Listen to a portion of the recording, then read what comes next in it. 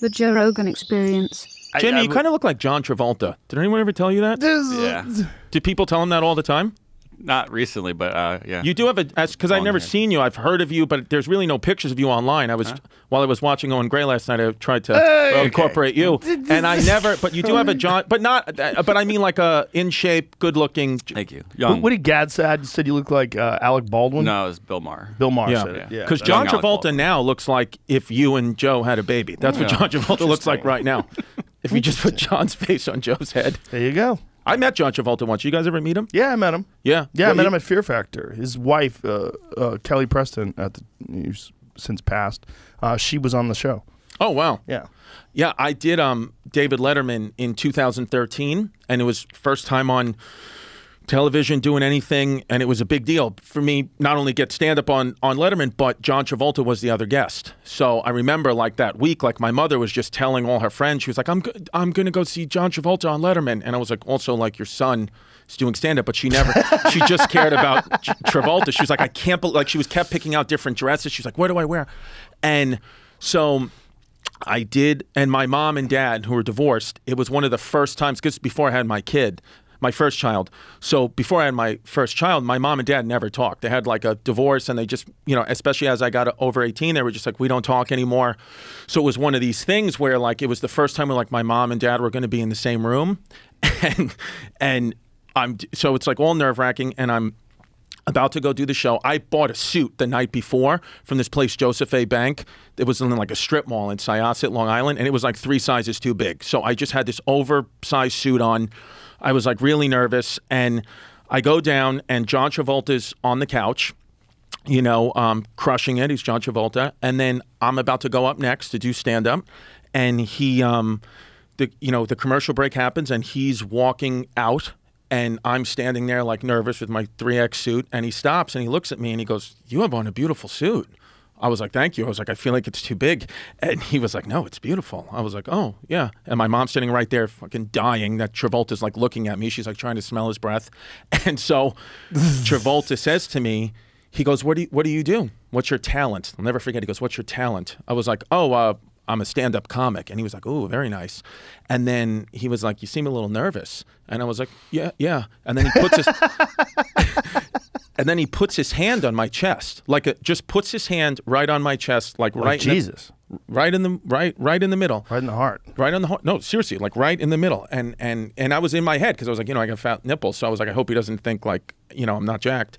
And then and then he and then he goes, um, why is your heart beating so fast? And I was like, because you're you're John Travolta, you're massaging my nipple. And, and he goes, don't. It, it was. He goes, don't be nervous about what you're about to do. And he goes, you've done it already. And I said, no, I'm actually going on after you. I haven't done it yet. He goes, no, you've done it already. It's over. And I was like, are you stupid? I no. Are you dumb fuck? I was like, I was like, I'm going on next. And he was like, the work is done. And then I, I was just like, what, what do you mean? And then w- the whole time his hand is on my chest. He goes, I'm sure that Mr. Letterman had to vet you personally. I'm sure that you've had to practice this set a thousand times before you got to this moment. So the work is over. So now you just have to go be in the present. That's your only job is to be in the present because the the set that you're about to do is done. You've completed the work already. Now it's just living the moment, which is the fun part of the hard part of the journey. But the hard part is over. All these words and uh, my, my heart is like slowly going down. Like I swear I was getting like very very calm.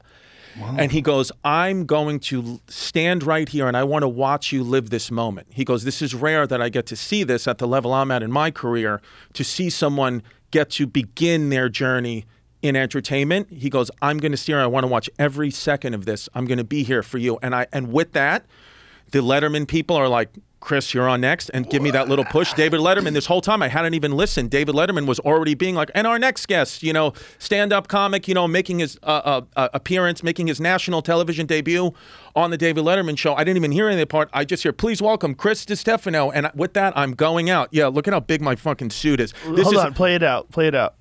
Oh, go go from the beginning. So you you had just been touched by John, Travolta. He is in that back corner. Literally, if you look closely, I almost have a boner.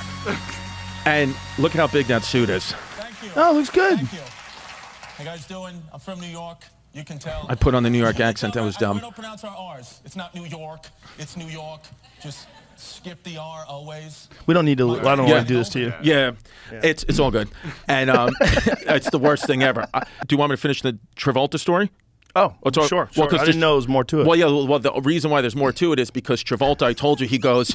He t- kept telling me, you know, I'm going to watch this moment and all that, and it was the most um, calm I ever was. Still to this day, doing TV. Like I was more calm the first time doing that five minute Letterman set than I was doing a whole Netflix special or whatever. I was so calm because of his words. and then when you came backstage, was he naked? When I came backstage, I was looking to see him and he was gone. And I said to my mm. mom, I was like, Mom, where's John Travolta? She goes, He left immediately. As soon as you said, Hi, my name's Chris, he walked away, left, went on. He so he just did that For you. for me. Which I, at first I was angry. I was like, "Where's John?" And then as time went on, I was like, "Oh, that's the nicest thing anyone could have ever done for me."